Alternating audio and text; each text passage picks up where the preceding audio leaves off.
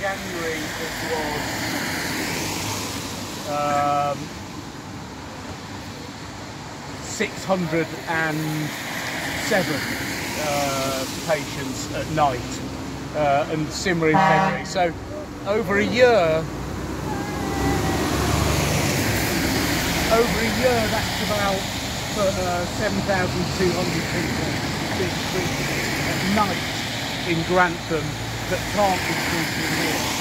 Sorry, I, the figures I gave you uh, back at the uh, town hall were the figures that they treated on over a whole 24-hour period.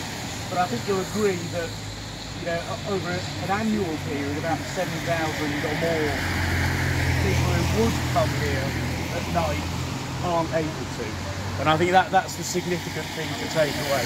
As I say, I have got the, the letter, but in the, the pouring rain, trying to read the figures was a bit difficult. But I will correct that with the advertiser as well to make sure that they've got the uh, that Grantham uh, hospitals aren't being misrepresented in what they've said.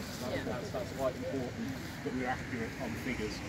Uh, but the, the, the big thing is, you know, we, it's a lot of people who should be,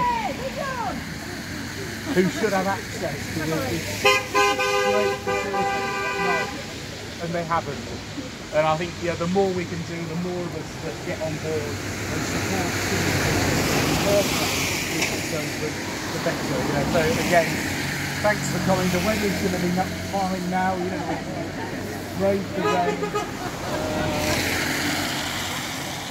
And it's great. I think we will have the support. I mean, we're a small number here, but I think a lot more people support what, what, uh, what we. So thank you all, and uh, give yourselves a round of applause for uh, doing the right thing and for uh, caring.